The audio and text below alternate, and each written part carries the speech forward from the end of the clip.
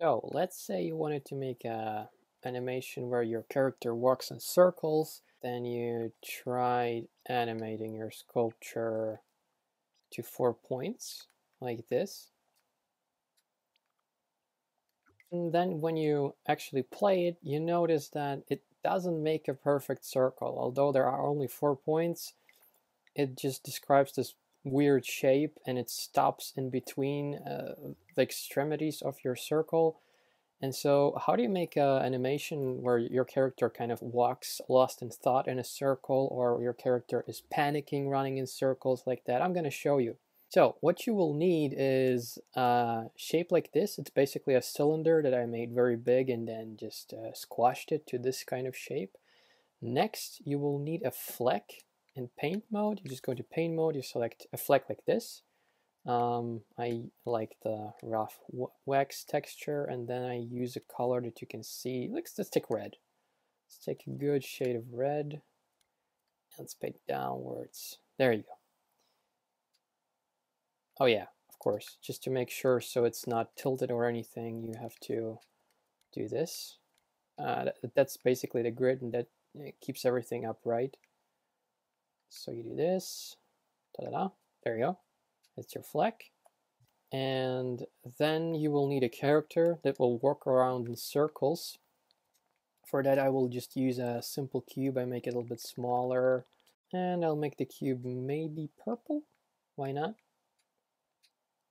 Like that? Nah, it's too much. Like this. Okay.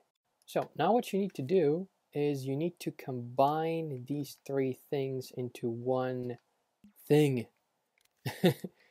and just enable grid and everything so it stays upright because if it doesn't stay upright and you animate it, it could be tilted uh, and you don't want that. So first thing I'm going to do is I'm going to insert this this flex stick into the, an extremity of uh, my my disc uh, like so. Why not? And then I'm going to take my cube and then I'm going to attach everything to each other. So I'm gonna group this and then I'm gonna, oh that's wrong by the way, that you need to make it stick out a little bit more. I'm gonna show you in a second why. Okay, here you go. And then you take your, your fleck, your disk, group it, and then you take your cube, you put it over the fleck so it's somewhat in the middle you know, it doesn't have to be 100% precise, but if it is, it is better. Like so. And then you group those things as well. So now everything is grouped. And what you do then is very easy. You just kind of hover over it. It doesn't matter if you do it from below or from above. It really doesn't. So what you do is you take um, timeline you place it somewhere here, open it, uh, I don't need this, and you put action recorder into the timeline. And before you start spinning anything, make sure you disable the grid and the stay upright. And so what you do then is you, you, you press your L2 and you use the right stick to spin the platform. All right, stop recording and let's see what it does. Yeah, actually moves in circles. It depends a lot on where you start spinning your circle, meaning that if you start spinning your circle, oh, I don't know, let's let's um let's take our circle somewhere here and let's start spinning it from here. You see? So it matters actually a lot where you start spinning it. To avoid this, you could uh, you know take the center of the circle and place like a small sculpture in there so you have a reference point but I just want to show you the principle behind it not you know a perfect animation. So yeah what you do is you grab your your, your disc and you spin it around like so and then you stop your recording and voila you have your um, circle walking animation whatever you want to call it. Now what what the question might be is um, finish the recording here, is hey, I actually still see the stick here that is stabbed through my character.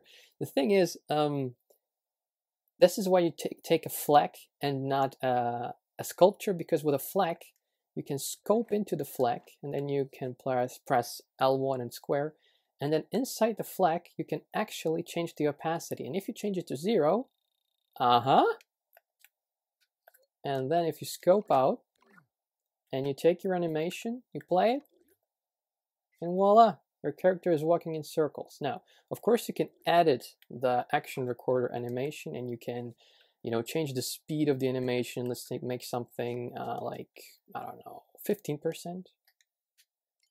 And let's see how that works. Slowly starts to spin. You get the idea. And the, the, the reason why it doesn't, doesn't spin here in the beginning is because I, I wasted a few milliseconds not spinning the circle so it starts later. Basically what you have to do is trim your action recorder and then and then it should work. Yeah, there, there you go. And you can, you know, uh, play around with this. Maybe you find something else or another principle of how this works. I found this to work very well because I needed to do an animation where my character runs around in circles, panicking, and it actually worked very well. Yeah. I hope this helps. If you have any questions, leave a comment below. Maybe I can help you out. Yeah, other than that, I wish you a nice rest of your day and um, hopefully I'll see you in the next video. Bye.